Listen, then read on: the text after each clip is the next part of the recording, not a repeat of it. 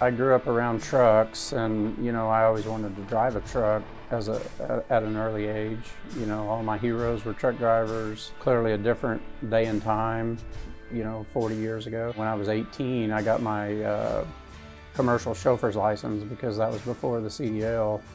And so when the CDL came in, I was just grandfathered in. Obviously, I was going to keep it. That just tells you how far back I've been around trucks and trucking, and I just never probably was ever going to take a different path in life than drive a truck or, or you know ultimately own trucks right? I mean that was my that was my goal in life but it all started just because i always wanted to be a truck driver you know from an early age. I'm a truck driver at heart and i mean i like trucks. I enjoy going out and driving a truck. I just think it's cool to you know have the opportunity to go out and do that. If i had chosen a different profession in life i obviously wouldn't have that opportunity. So you know, since since since I am in the business and you know I enjoy getting out on the road. I think it's important to go see some of these places that our drivers go to, um, shippers, receivers, our terminals. So I just think it's good to stay connected. I mean, yeah, I'm the CEO of the company, but at the end of the day, we're all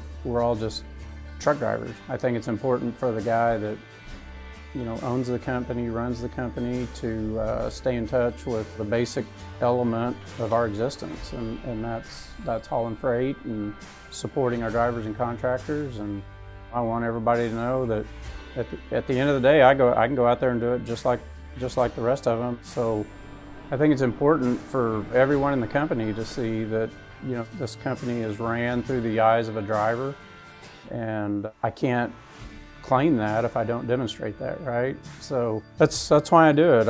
I just like to stay connected to it. Everything gets so complicated running a big business, a lot of people, a lot of trucks, but um, at the end of the day, I just it just all goes back to one truck, one driver, and that's how we have to manage our business. I mean, every single driver and contractor is important, and we can't lose sight of that. So I, I think that all of our drivers and contractors appreciate the fact that I can go drive a truck, I can still get out on the road just like they do, and I'm no more complicated a person than they are, right? I mean, I'm just a simple guy that just happens to run a lot of trucks.